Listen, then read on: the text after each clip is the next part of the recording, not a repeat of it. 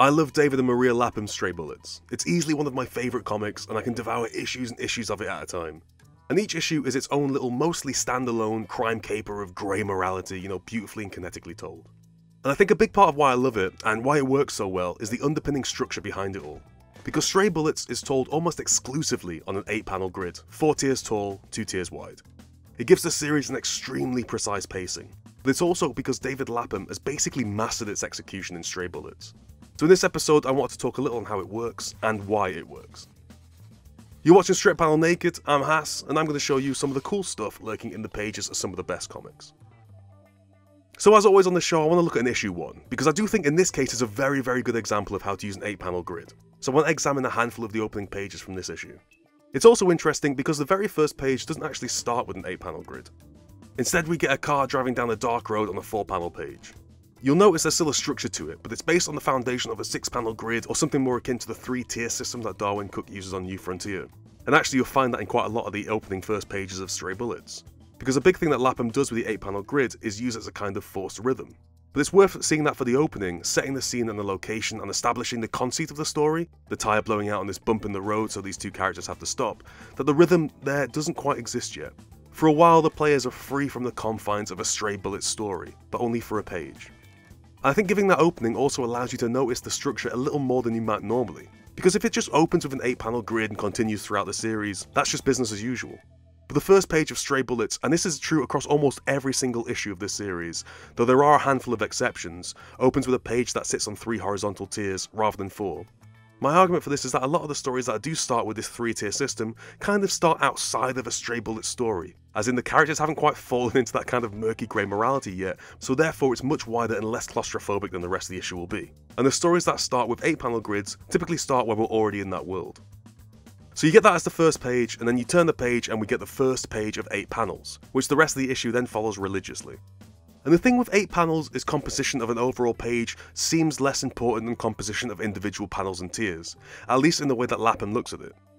For the most part, the strict adherence to the grid breaks down the page specifically into a series of 8 moments, rather than one whole image, though I will show you how this isn't quite true as well. But it does feel almost closer to a film storyboard, where each image sits within the frame of the screen, the compositional choices being more important there. Of course, there is a major difference in that these images do all exist at once, and specifically in the way Lapham likes to use the grid, the images are placed next to one another. And often they're playing off of each other too, and it's in this fundamental design that Stray Bullets' use of the 8 panel grid soars.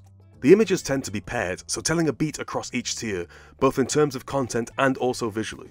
If you take a look at the most obvious example from the first page of the grid here, it's on the shot of Joey.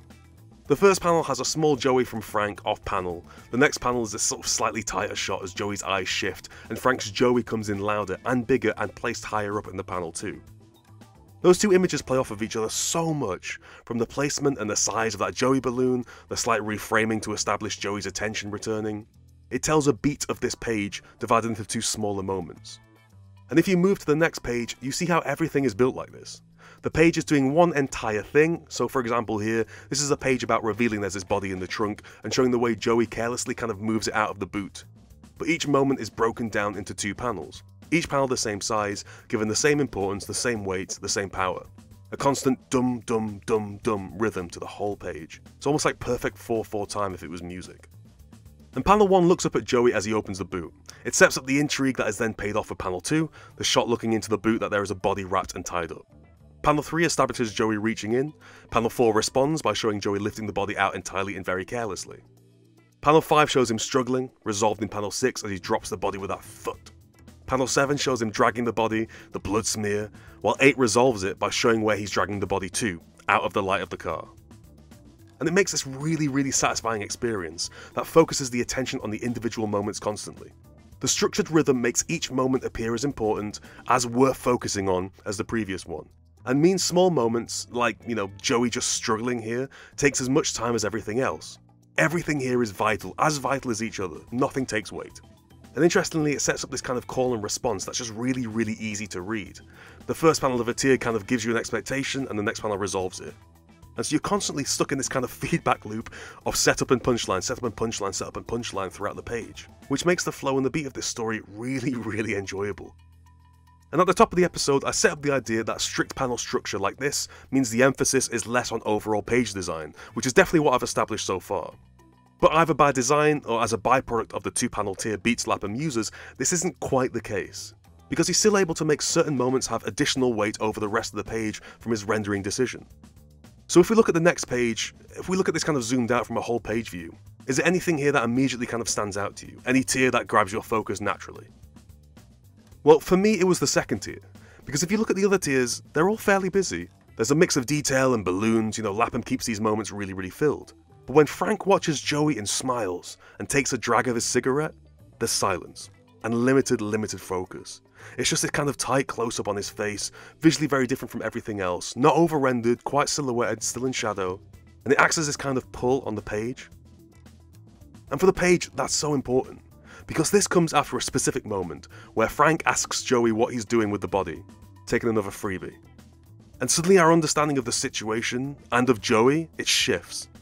So Lapham builds this silence in the moment, right? One that feels extended, larger than any other silence, taking a whole tier, focusing on nothing but Frank's smile and the question that was asked. And it's because of this adherence to the grid that this moment is additionally powerful. Because we can really feel that moment sticking out, right? It kind of lingers there. It takes up two moments of this grid, not advancing anything except watching Frank smoke. Because Lapham's 1-2 beat of the tier is so effective everywhere else, when he uses it in a different way like this one, it becomes so, so incredibly punchy. And so that's just establishing a little of how this grid works, the underpinning beat and narrative structure that Lapham likes to use, and a little way he can also twist and distort it to do something different. And when used like this, it typically moves attention away from specific page layouts and into the moments themselves, into the framing and composition of the individual panels, and their direct relationship to the panel next to them. It wants the appearance of saying the way I'm telling you this story is less important than the story I'm telling you. But when you look at the decisions Lapham makes in the pages, it does belie that because the way the story is being told is where so much of its power comes from.